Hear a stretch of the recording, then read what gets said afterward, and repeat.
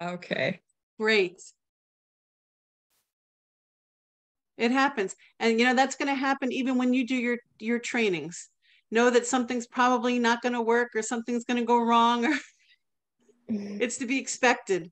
And it's how you handle it is how, you know, whether the um the training goes continues to be successful or not.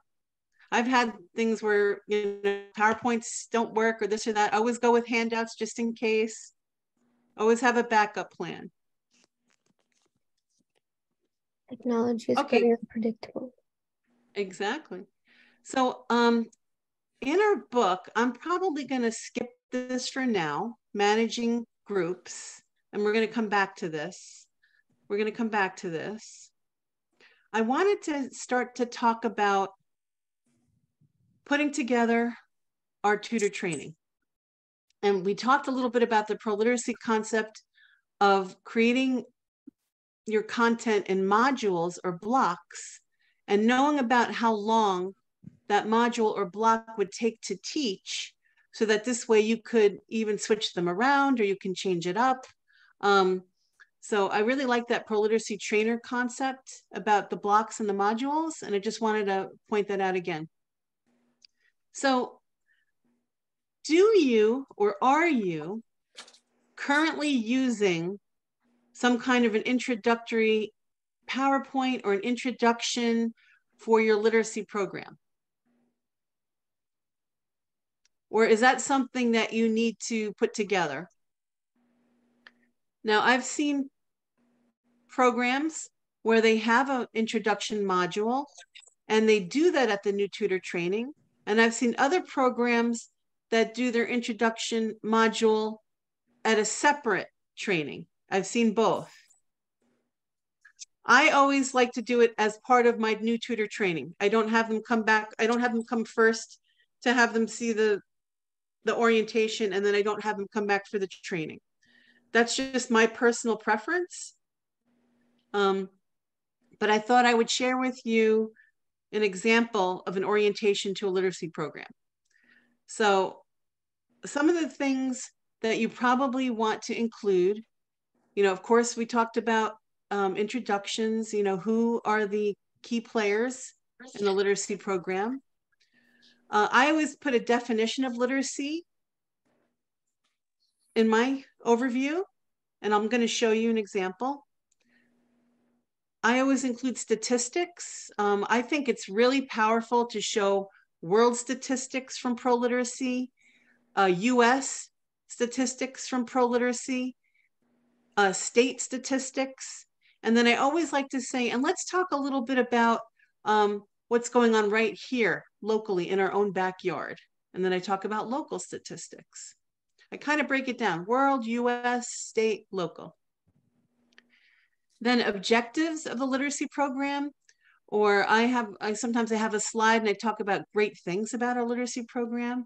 It depends on the group who I'm going to speak to. If um, it's a new tutor, I have one that I'm going to show you that I do for new tutors. Sometimes I will change it up depending on who's going to be in the room. Um, if let's say, for example, I think I mentioned on Tuesday, we've always done something like a leadership academy uh, or a citizenship academy. Uh, I'm sorry, not a citizen, a citizens academy, citizens academy. And this was just a local idea where leaders in the community would get together to know more about, um, uh, you know, government resources. And so I always did a presentation to them. So you can change up your um, introduction or your orientation to the literacy program however you see fit. If you wanted to add statistics or you wanted to add how many learners are waiting to be served, you know, those are things you can also put in there. Um, you might want to talk a little bit about the history of your literacy program. Is it brand new? Um, you know, what are your policies? You might want to share some learner outcomes and some stories. You may want to take, if you're in your facility and you have resources there, such as, uh, you know, I always worked out of a public library. We would literally walk everybody over and show them this is the, these are the meeting rooms. Um, these are the different resources that we have available to you. This is our adult literacy section. And then uh, overview of what to expect for that tutor training workshop.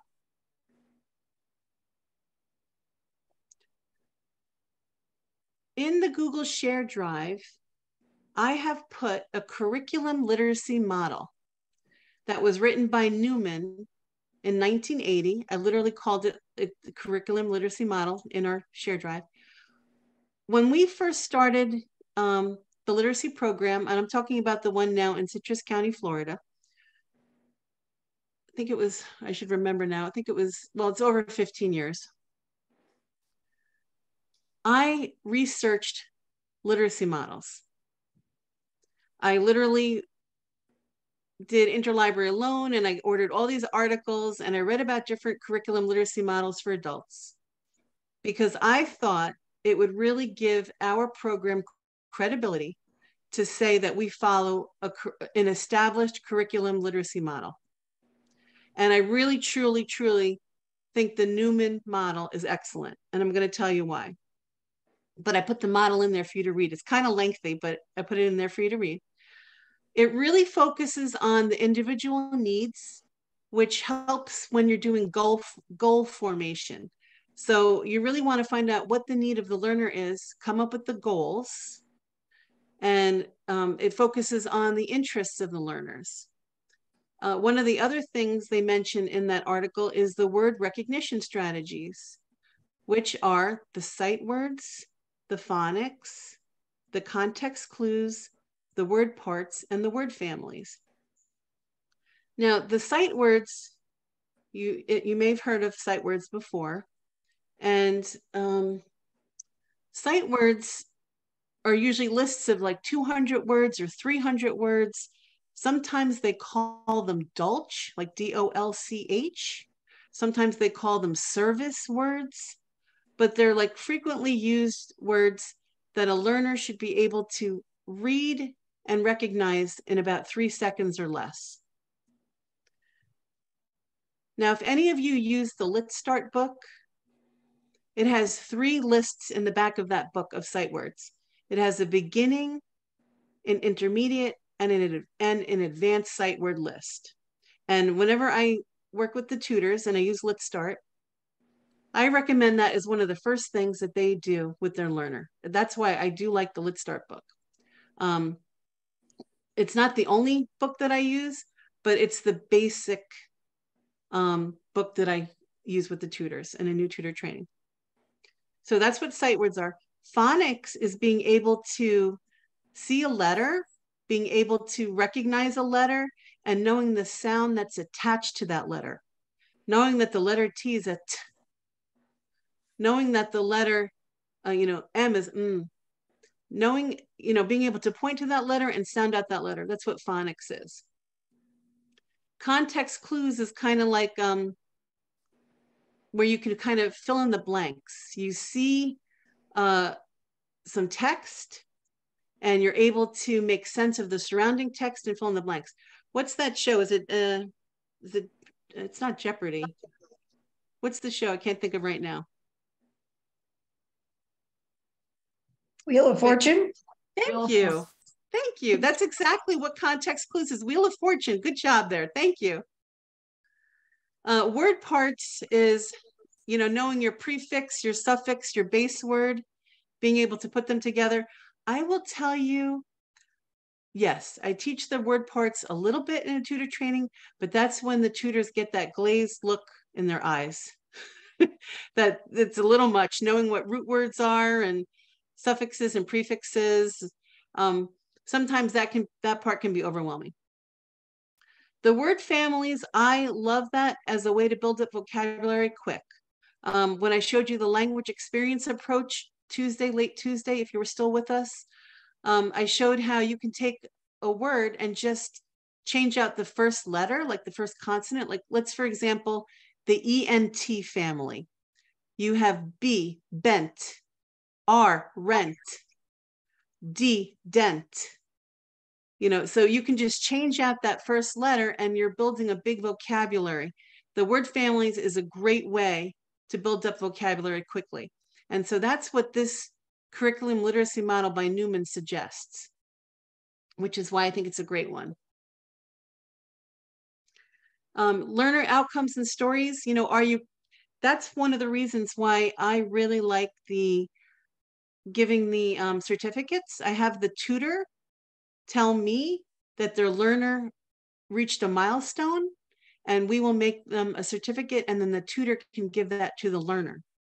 And we record those outcomes and things. And this way you will have, um, you know, it's hard. It is hard to show gains in adult literacy programs, especially if you're not doing a lot of intake assessments. But I think it's always good to capture those milestones, like if they got a driver's license, or they got a new job, or they got a promotion, or um, you know, they were able, they even they came to 10 sessions, they got a library card for the first time. Whatever it is, you know, they can write their name. Maybe they maybe they are from a country where they don't use um, you know, they use different types of writing like ideographic symbols, and they needed to learn how to write manuscript letters. Maybe they're writing their letter for the first time, their name in manuscript letters for the first time. So those can all be great milestones and achievements. And they can also make great stories and outcomes that you can share. Financial literacy is another one, health literacy.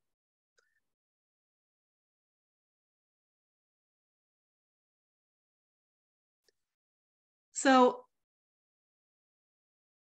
do we want to talk about this for a couple of minutes? Um, you know, what kind of information about your literacy program do you want to include in your orientation?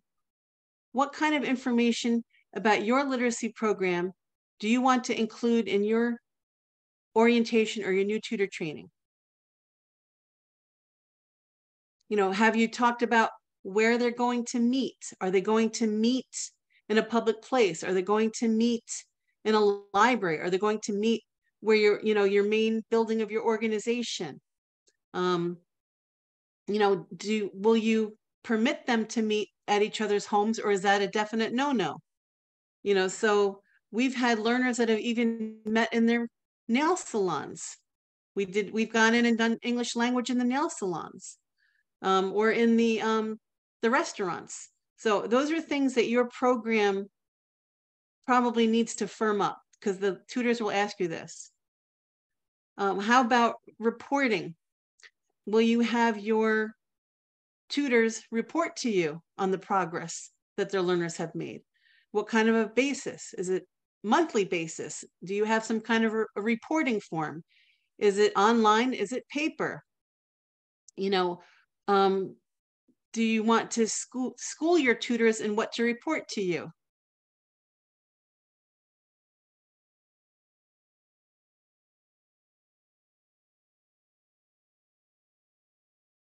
Is this an is this an area that you need um, to work on? Is this do you have an orientation to your program? Do you have all your, you know, do you have your tutors sign an agreement how long they will stay with your uh, do you have your learners sign an agreement how long they will stay in your program?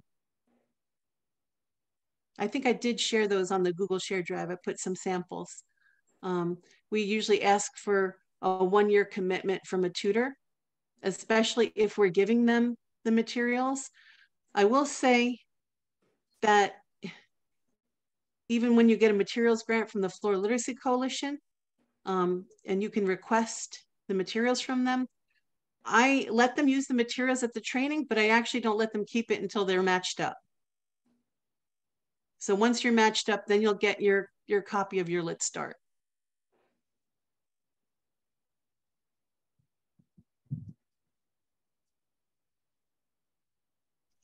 In your book, on page 29, um, there are some ProLiteracy statistics in there.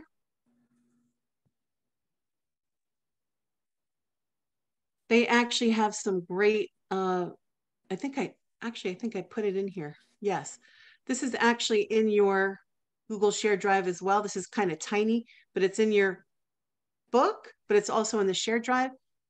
You know, they really have some really great talking points. Uh, ProLiteracy does.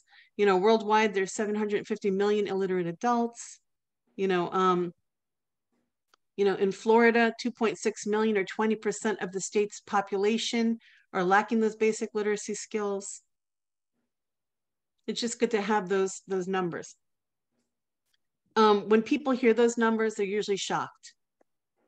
There's other resources too that I use, um, and I, I have them in different PowerPoints depending on um, the subject content.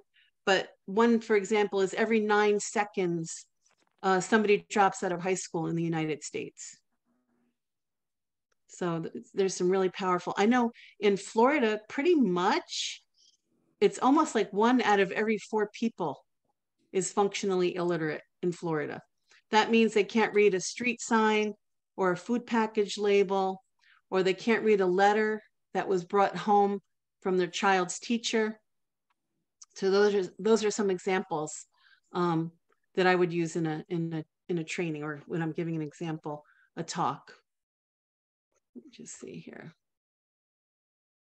Okay, I'm going to share um, a, a PowerPoint that is one that I would use. So let me go ahead and bring that up.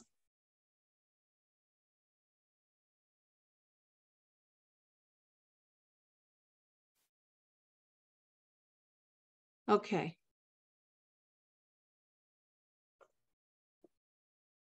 Are you seeing that or no? You're not seeing that. Let me try that again. Let me try that again.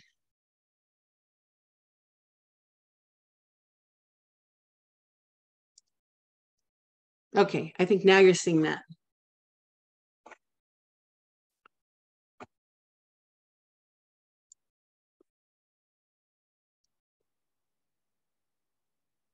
Okay, does everybody see that?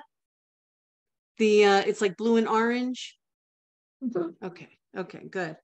So this is an example of one that I've used at New Tutor Trainings. Uh, now this was my previous uh, employer in Florida. And I mentioned I usually have a literacy definition in there. You know, basically, I think it's important to point out that literacy is what you're able to function in society. That's, I love that term in there function in society, to achieve one's goals and to develop one's knowledge and potential. Then I have a world literacy fact you know, 785 million illiterate adults from ProLiteracy. Then I have a US literacy fact. You know, 36 million or 29% of the country's adult population over age 16 are lacking that basic literacy skills. And I don't have to say that, um, you know, with low literacy, you know, comes often comes unemployment. One of the ProLiteracy facts we talked about yesterday was for every 100 hours of instruction, you earn 10,000 more. ProLiteracy says for every 10 for every uh, 100 hours of instruction in a literacy program, they earn 10,000 more. And then a Florida literacy fact, mentioned the state fact, you know, we have the third lowest adult literacy level behind California and New York. And pretty much 2.6 million of the state's adult population are lacking those basic literacy skills.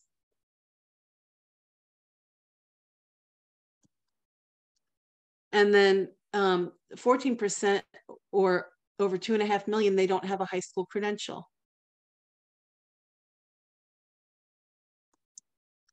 And then I, here's where I would talk about our program specifics. You know, one in four people in Citrus County was functionally illiterate. 21,000 adults did not have a high school diploma. We were getting requests from learners. We were getting referrals from community organizations. And one of the library's core values is to advance education in the community. And then I would talk a little bit about how we help learners. We do one-on-one -on -one tutoring. We do reading and writing instruction. We do English language instruction, citizenship classes, pre-GED classes, and career online high school. And then, you know, depending on who I was talking to, I might might put the slide in or might not, but great things about our literacy uh, program was a learner-centered approach. And I always mention that we did use the literacy curriculum model by Newman from 1980. And we use the LitStart book and it's free. And we respect privacy and confidentiality. And it's a one-on-one program. Um, you know, we have goals.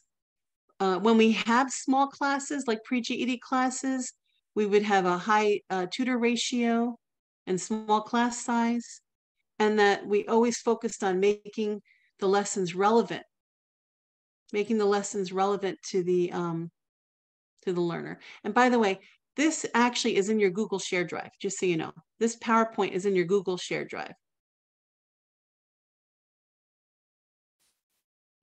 And then these are some actual learner goals.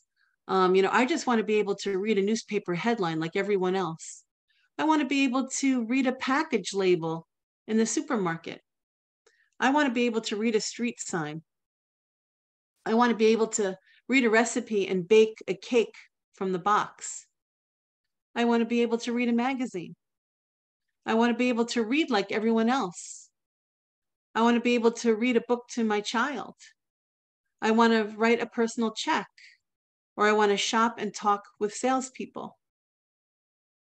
So you can actually keep, uh, you know, a list of learner goals. Um, and these are actual learner goals that we've uh, helped people in the past. I had a gentleman, this is a true story, who called our library one day and asked for the literacy department. And I spoke to him, and he was in tears, literally, over the phone. And he told me he was new to the area and that he was constantly getting lost and he didn't know how to read it. He couldn't even read a street sign, is what he said to me. His exact words I can't even read a street sign. And I and he's like, I need help. So that's where we put that. I put that in there because he wanted, he said to me, all I want to know is how to read a street sign, and I can't.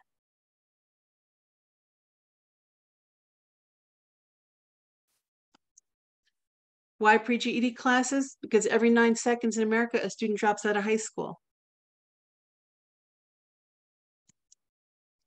Here was an example of um, a, a successful learner that we had. So like I said, sometimes I put these in, sometimes I change it up. So this is an older one that you're looking at. And then I love to put in a local slide of community support funding and grants because I think people are always amazed to see who supports this library program. And if they see that, you know, they may be willing to support as well. And I always explained how the literacy program, first of all, would never have gotten started without the Florida Literacy Coalition because they gave us, they sent us a trainer and they sent us the materials so that we could have our first tutor training. And then Black Diamond Foundation also gave us quite a bit of materials um, when we first uh, started. But these are all the people that have supported our literacy program uh, over the years, the one in Florida. And we did, um, actually, you can read this. I wrote, I wrote about how to hold a tutor training and the Florida Literacy Coalition still has it on their website. And in 2010, they gave us this award for that. It's still up there today. You can read it. And then we've had quite a few outstanding literacy volunteer uh, of the year. And our joke in Citrus County was that every three years, one of our tutors will get that award. You can see the pattern there. It was like every three years. so um, if you're not aware, the Florida Literacy Coalition does have different awards that you can apply for. Um, and they usually announce the winners at their annual conference. And, you know, some of these people were just amazing um, that have helped us over the years. And so, yeah, you might as well brag about it, right? If you if you win the award, you might as well brag about it. So, and then we would have our contact information.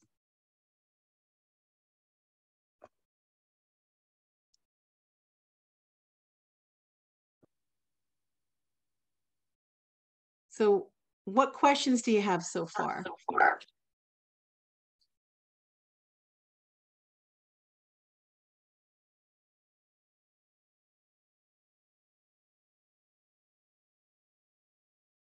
I don't have a question, but I just came across a new term, emergent reader.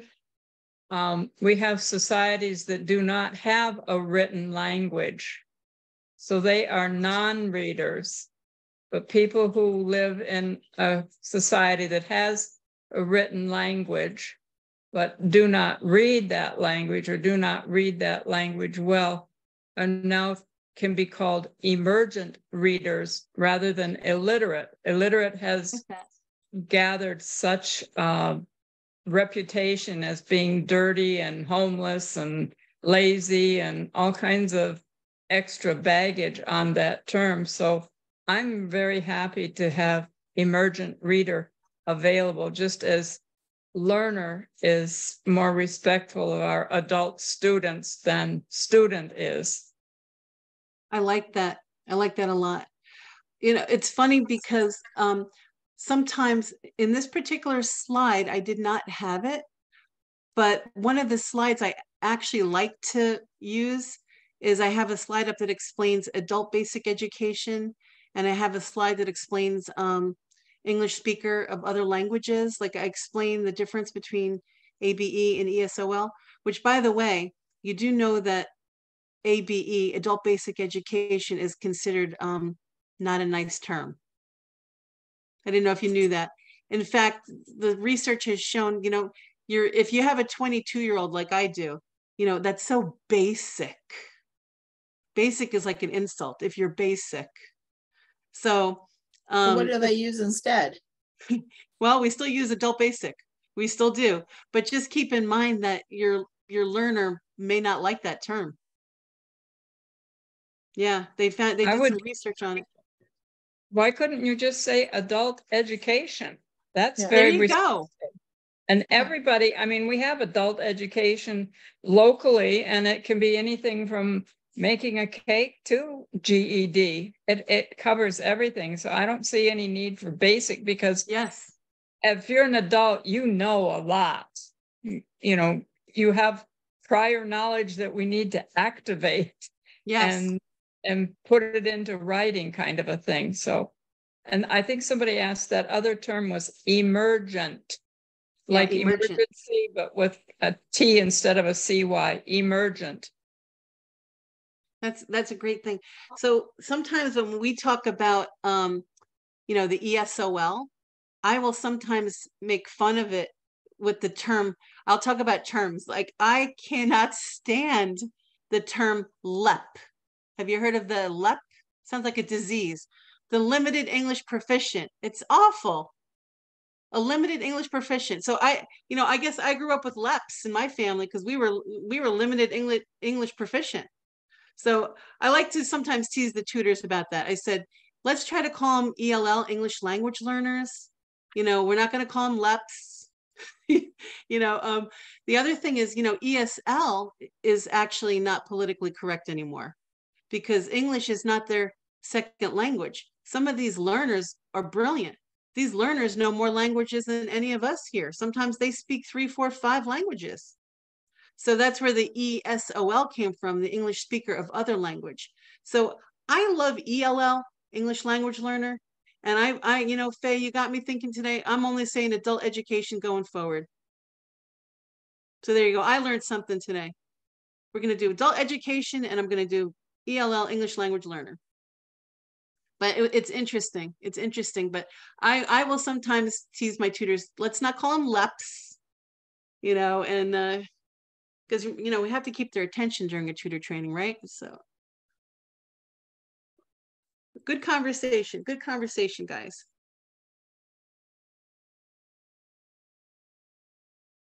Oh, are we stuck? I'm not. You're not. yeah, I'm not stuck. Okay, good.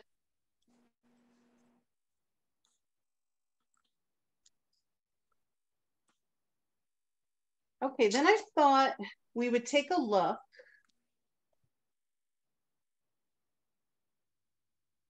Just looking at our book real quick. I thought we would take a look at some uh, agendas. Let's take a look at some of our agendas. I'm going to share this. let's see.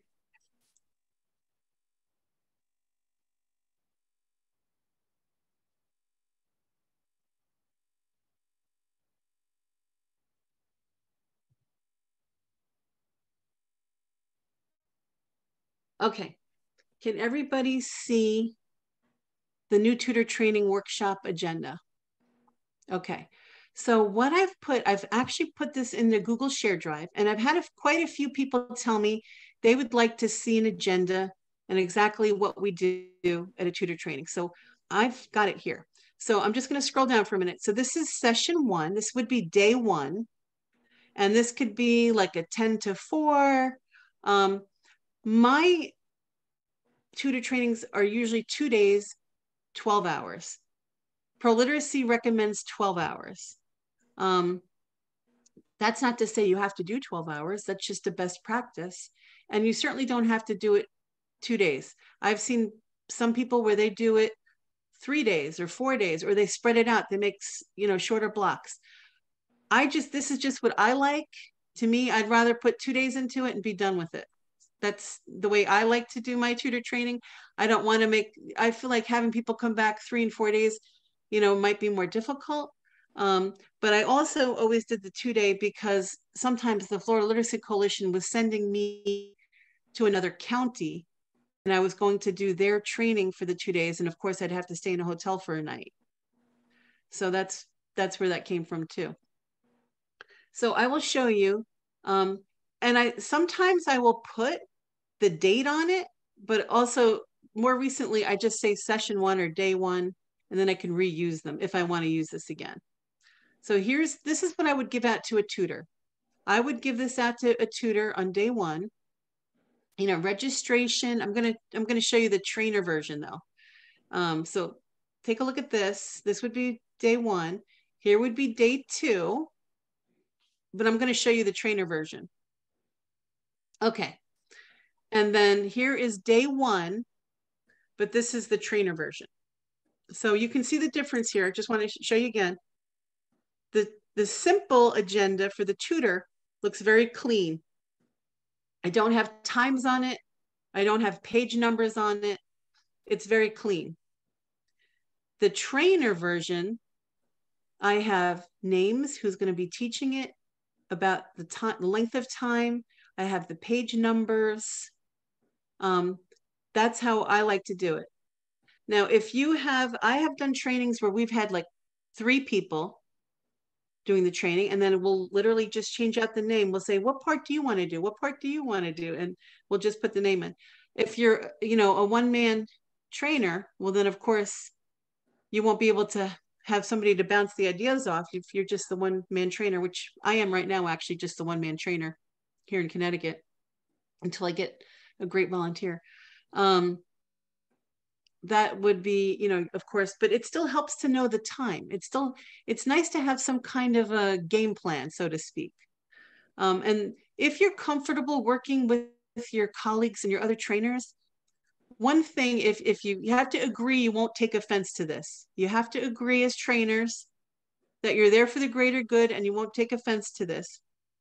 If the other trainer stands in the back of the room and gently points at their watch so that they know if they're kind of going over.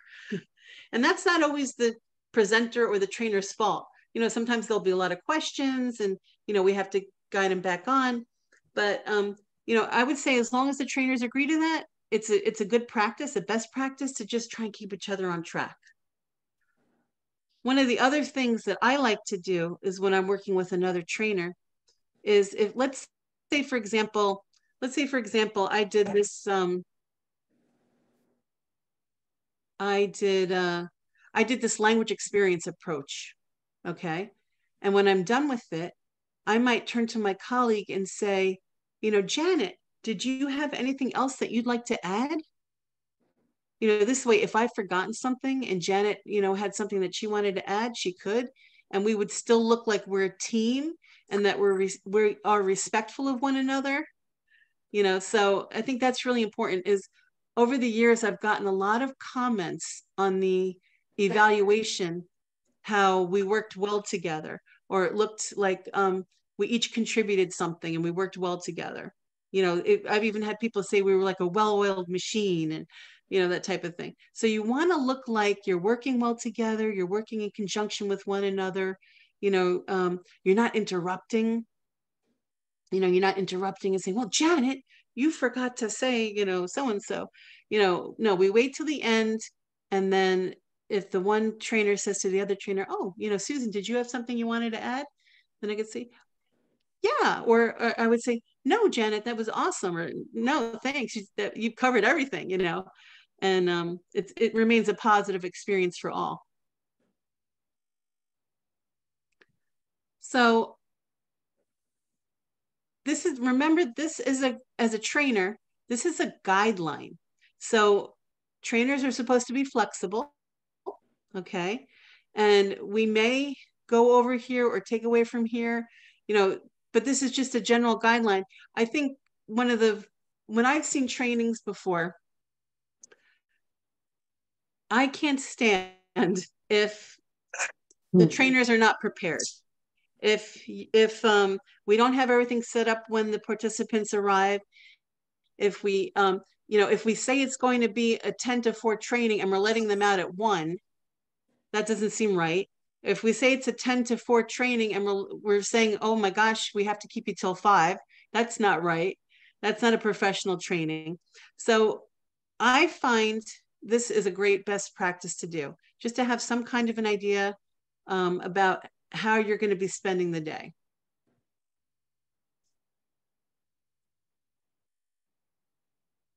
Now we can look at this a little bit more in depth. So, okay, so the registration welcome, remember we talked a little bit yesterday how you want to explain, you know, who you are, what you do, why you do it, who you are, what you're doing, you know, what's your role in literacy? Why is literacy important to you?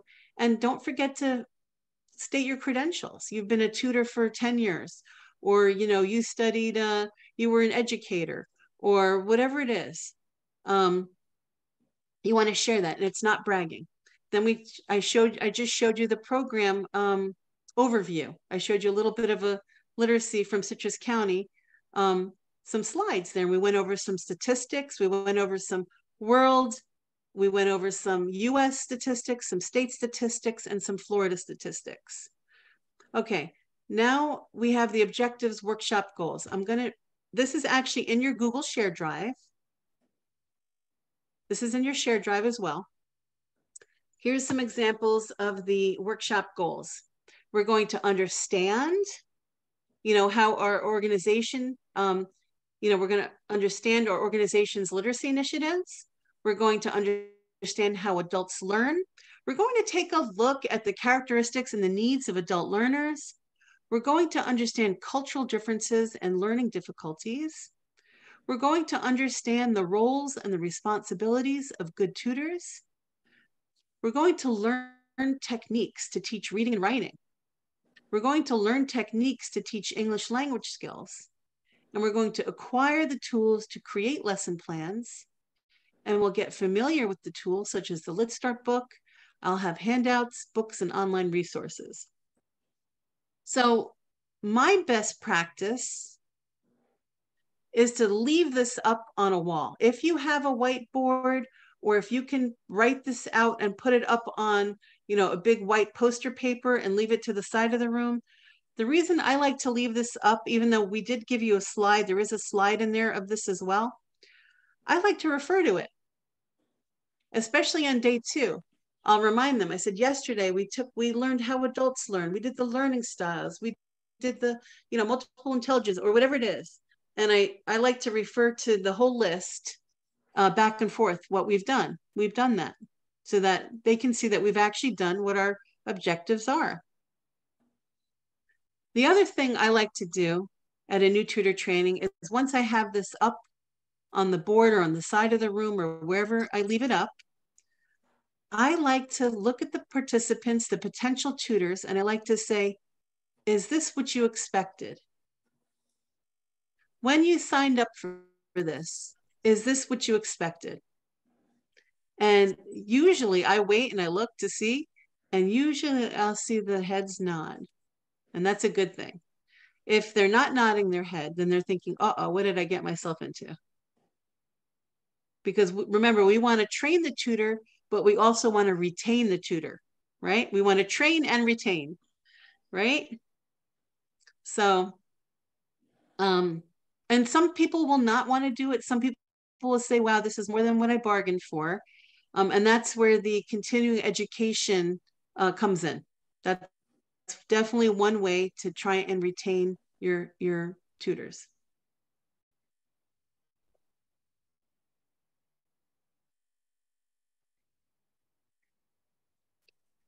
So is anybody else doing this with their training workshops or is anybody as um, structuralist as I am and have to put all their minutes down and all their and all their names and how long we're going to take.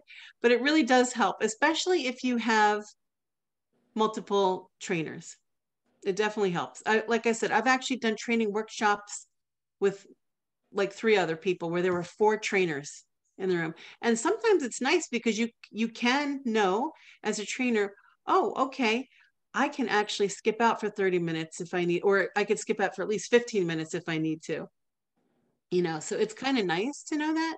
Um, you don't want to do it all the time, but um, if you had to, you could. So what questions do you have about what we just talked about? Yeah. Is the um, the list of objectives and workshop goals that you have. Um, also the order that you would like to present those things. It, it is. It is for the most part. Yes. Okay. When um, uh, a person in my um, county has been doing tutor training, cultural differences have in um, language learning have kind of come last. Okay. And I, and I find that interesting that you put it well before some of the other things. Yes, but actually, if if you look at my session one, I'm going to admit, if you look at that, um, okay, so let's take a look at this. The, we did the tutor interview icebreaker yesterday. The hungry is a menu exercise, which I actually put in your Google Share Drive. We can look at it. Here we're going over how to keep adults motivated to learn. I have an exercise we can do. But if you look at it, we go down a little bit further, Janet. This kind of is all almost more adult age education.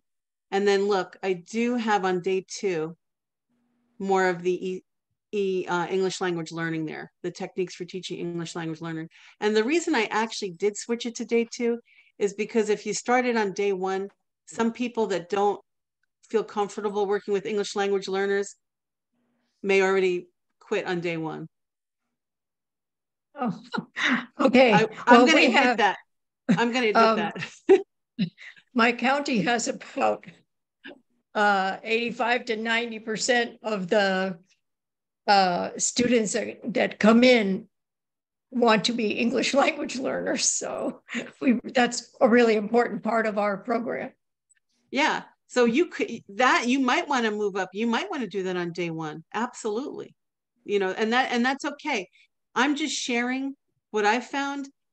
But when it comes down to it, you have to know your program best. And and that's that's a good thing. Um, so are you teaching total physical response? Are you doing TPR? Um, that is mentioned in the training, yes. Okay. And then not, not, to any extent, but it's kind okay. of like there's a handout about it in your packet. okay. I can actually show you a couple things that um, I like to do. I will actually teach a portion of our tutor training in German. Okay. I, I, mentioned to you, I'm the first American in my family. My parents are from Germany. Um, and I like to make them feel really uncomfortable because we cannot, we cannot relate. A lot of times we cannot relate how that English language learner is feeling. You know, when they go to pronounce um, the English language and they have to form their mouth in these different uncomfortable, unfamiliar ways, right? Um, you know, we don't know that unless we're, we're put to the test. So I will sometimes make everybody do German. I will say, first of all, I say, does anybody here speak German? And if they say yes, and I say, I'm going to ask you, please don't share what we're what we're doing. And then I have everybody pronounce things and they're feeling really uncomfortable. And I say, how did how did that make you feel? you know, and it's kind of like a lesson in empathy. Um, but if anybody speaks another language, I, I think it's great. I it, that's not my idea. I have to give my mentor Roberta Rice credit. Um, she would actually do it in uh, Russian, and she did a great job. And I said, you know what? I'm going to do that in German because that's what I can do. Um, so, and then the I can I can actually show you a couple examples of what we do. Okay, so let's go back here for a minute. Um, Okay, so I'll just go a little bit over it. So we went, we did the interview icebreaker yesterday. Hungry is a menu exercise. Has anybody ever done the menu exercise? Okay, if you haven't, I've included in your Google Share Drive. I can show you briefly what it is. We literally put up a menu um, and it's half English and half Russian. And we ask you what you're going to eat. And you can't read anything. And it's it's a whole exercise about coping strategies how your adult learner will how they get through life by coping. You know they might ask the waitress um you know what do you recommend? Or i'll have what he's having. Or oh i forgot my glasses. Can you read me the menu? I forgot my glasses. So there's different coping strategies and that's a great exercise and a, uh, to get people thinking about that. Uh, i did i do have this in our book. I'd love to go over the how to keep adults motivated to learn that's an exercise that I've actually done at my trainings, and I gave it to you in the in the book. It's in our training training book. Um, with the characteristics of adult learners and the characteristics of good tutors, I love to just have the tutors scream out things and I write it on the board. You know, it gets everybody participating. I like to say, okay, let's talk about what do you think are some characteristics of of adult learners?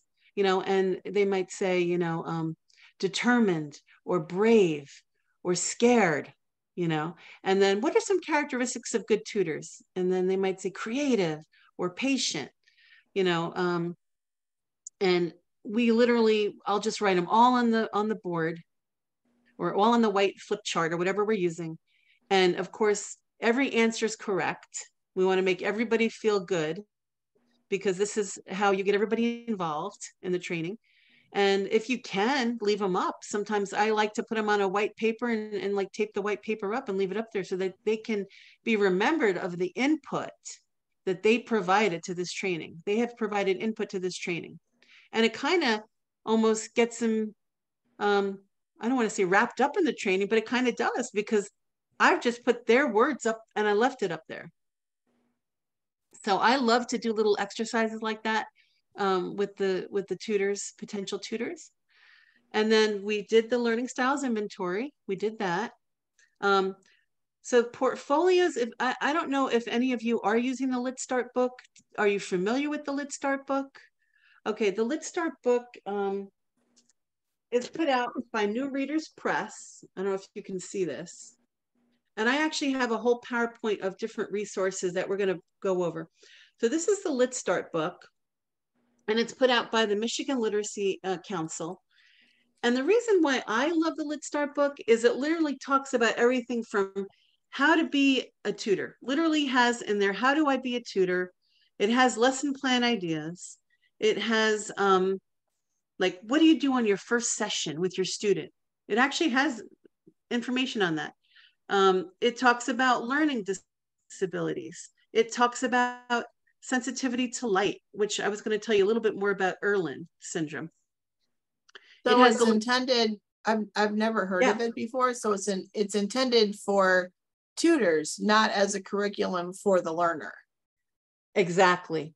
This okay. is like, I, I don't want to say this is like your Bible for tutors, but yes. Okay. Yes. So, um, but it has a lot of strategies in here. So your your tutor will actually learn like how to how to create their own mini curriculum. It's not something like um, Laubach or something you know that you can just use straight out of the book. This is more like how to be a tutor and tips and tricks. What I love in the back is it is it has so many different appendices. So I'll just give an example. It has vowel sounds. It has um, word families. Remember we talked about the word families? So it has the AB, AB family, cab, dab, gab, jab, lab, tab. It has, so it has lots of word families. It has um, different lists of word families like beginning, intermediate, advanced. It has, what else does that? I know it has um, compound words. It has long E sounding words like B and fee and C and T. It has um, like the short I. It just has so many great different uh, sight words. It has three different sight words lists. It has um, driving. It even has driving survival words. So yeah, got some good stuff. Um, the LitStart is um, this. Whenever I did a new tutor training and I asked for funding from the Florida Literacy Coalition, this is what I asked for, the LitStart book. Now the LitStart book, wait a second, I'm going to show you something, has its own little mini assessments okay? I have put this on your Google Shared Drive under assessments because here's the bad thing. When you purchase a LitStart book nowadays, you no longer get the assessments. I have these forever. So I have scanned them up. They are on your Google Share Drive. Um, the one is the tutor's guide, and the other one is the reading level assessment. This is so simple that any tutor can do this. This is so simple. The tutors don't have to be scared to do this. Um, and you literally, I print up both the tutor guide and the reading assessment guide for the tutor, and we literally sit and go over it page by page. So for example, um, I'll just tell you real quick. For example, I don't know if you can see this. Can you see it? It has little pictures. So the one page has little pictures and there's like a dog and there's a chair and there's a car and a key and a pair of sneakers and a house and a person reading and a person on the telephone and a person washing their hands. And so if it's an English language learner, here's where you want to see. Well, first you want to see, you know, point to the dog. Do they understand what you've just asked them? You know, and then if you ask for the other ones, like, what is this person doing? If they say talk phone rather than talking on the phone, you get a little bit better example of their English language um, level. So I I like the way to let's start. I know it's not really like formal like the CASAS, but I think it's a good guide for for your everyday tutor to to use this so that's my two cents on the on the intake if you have to um really show more marked gains you might want to use something i have stuck a couple different assessments on the um under assessments i have some assessments informal and i have just assessments i actually put some of the CASAS up there which you are allowed to reproduce and use um so that's the um the LitStart. We talked a little bit yesterday about portfolios. That is definitely a recommendation um, in adult literacy education programs that you keep, that the learner, the learner be responsible to hold a portfolio on themselves. And anything that you work on, if you work on language experience approach, um, little essays or any writing things, that you date it and keep it in that folder to see progress. And then, um, so the word recognition strategies, we talked about sight words, we talked about phonics. What the way I like to teach phonics is I actually have a couple of slides and I say, you know, then usually it is the short vowel sounds that learners will struggle with. And that's a that's not me saying that, that's like a fact. Um, and the Laubach way to reading does talk, have a, have good material on short vowel sounds.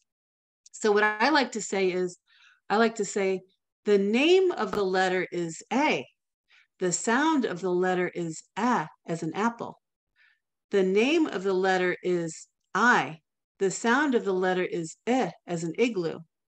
The name of the letter is E.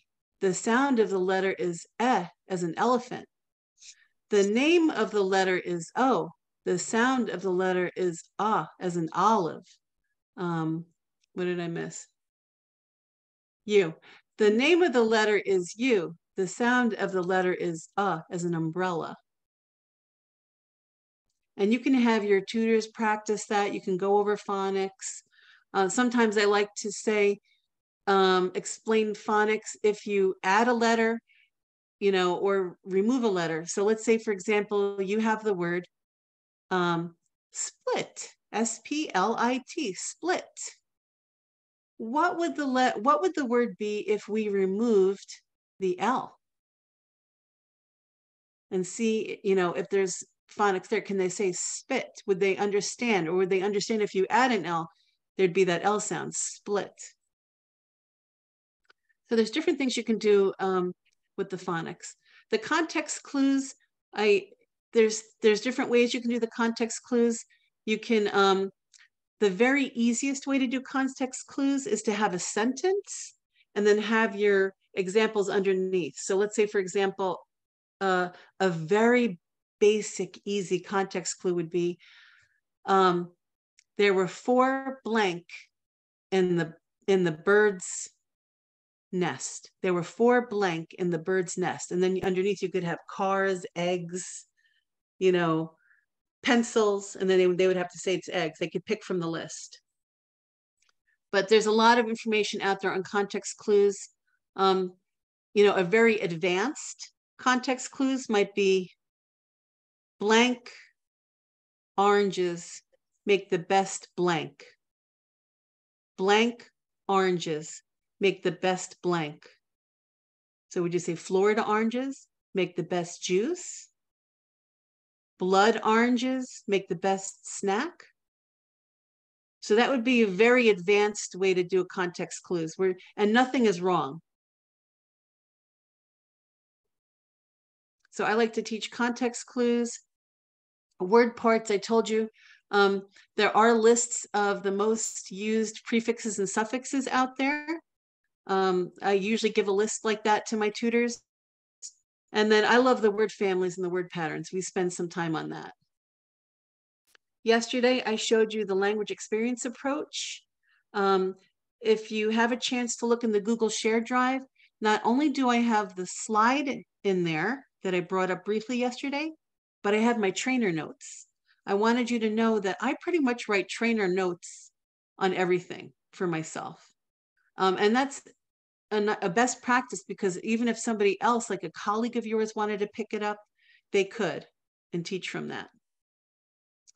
Uh, I also have the handout, the tutor handout in that folder. So you really could, you could go tomorrow and teach the language experience approach with the PowerPoint, the tutor handout, and my notes.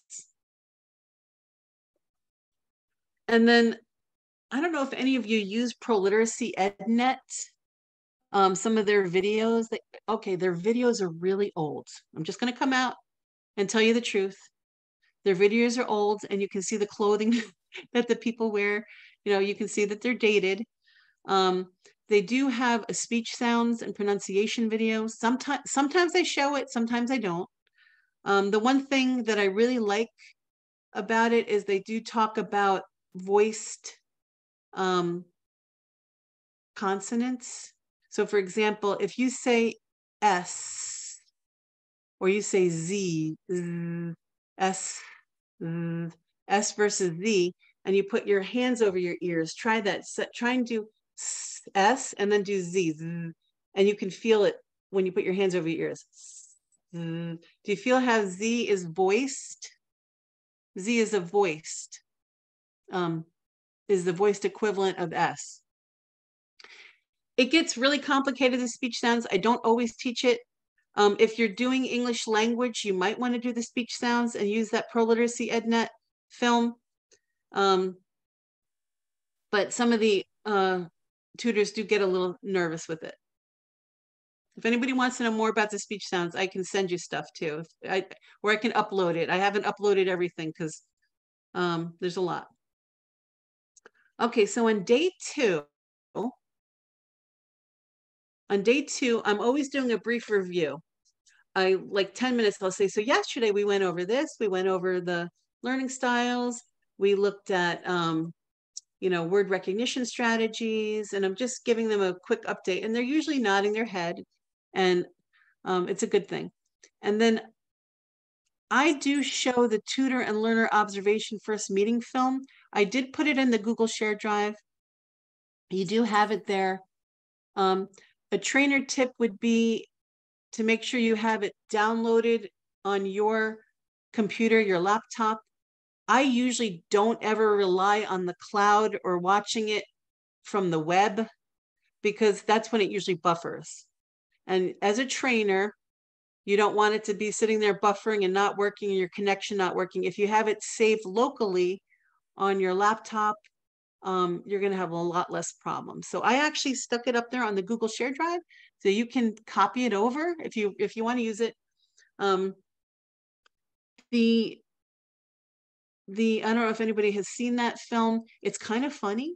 Um, the the woman Nancy is like oblivious to all the things that she does incorrect with the poor learner.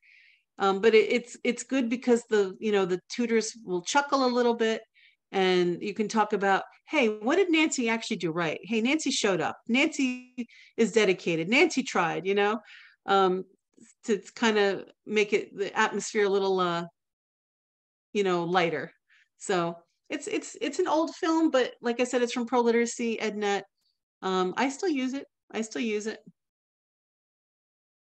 and then i did briefly show some reading comprehension yesterday um, because one of the participants asked me about the assignment, and I had admitted that this was actually one of our assignments when we took the train. I, I took the train the tutor trainer like three times over the last years. I don't know how many years I I took it, but um, until like I said, Roberta Rice was my mentor until um, she actually helped me to teach this course.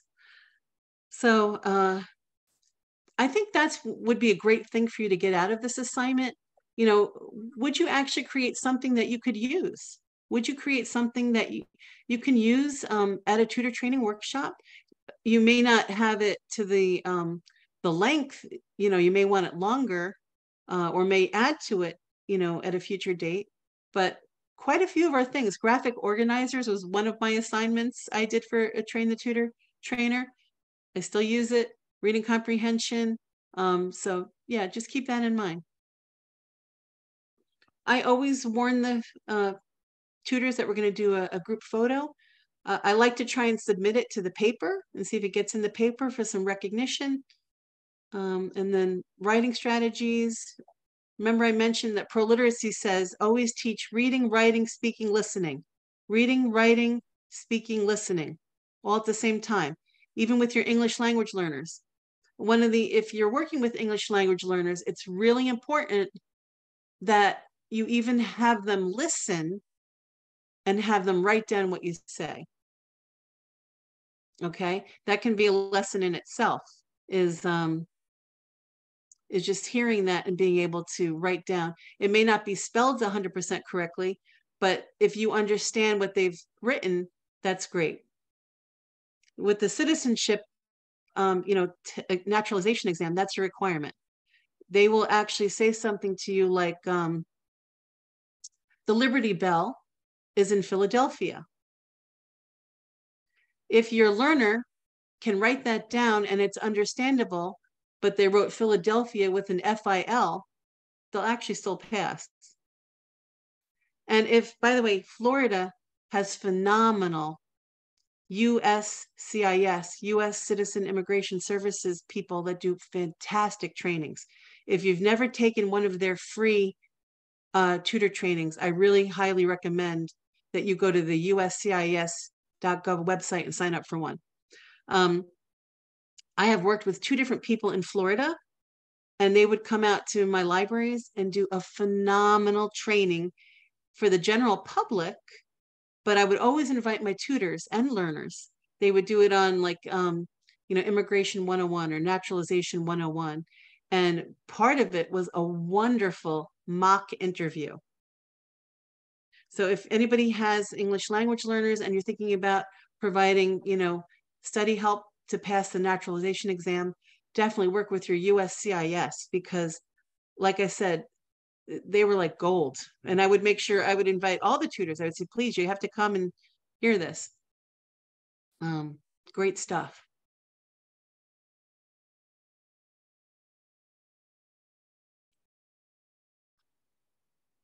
Okay, what questions do you have for me? I feel like I'm talking, talking, talking. Um, do I have all your attention? I just wanted to um, remind everybody that the citizenship examination is going to be changing somewhat drastically. It has yes, no questions right now and answer six out of 10 or some something. But it's going to, that part is going to go to multiple choice questions, but there will not be any tricky multiple choice questions. They'll be pretty straightforward. And oh, that's good. The, the, the writing will be the same dictation and, and you write, you have writing sentences, but the English language proficiency will be based on the ability to look at a picture or look at several different pictures and comment. And it's there's a particular uh, functional level. I think it's three. I don't. I'm not real up on on what level, but if you can name some things and make some phrases, you don't have to use fully complete grammatically correct sentences, but you do need to be able to speak to a picture and say, you know, boy, girl, mother, grandfather, eating lunch, shopping, probably a little bit more than that, but that's going to be changing. It's in the testing stage right now. And so the requirements will, which exam you get will will depend on when you filed your application. So. Yeah, they, they are. I remember a few times they've changed it here and there. I think, is it totally on like iPad now too, isn't it? Uh, there, a lot of it's computerized. There, yeah, there isn't any paper, but you're still going to be working with a person. Yes, so you yes. like when you're talking about the picture, you won't be typing your responses, you'll be speaking your responses. Yes, yes.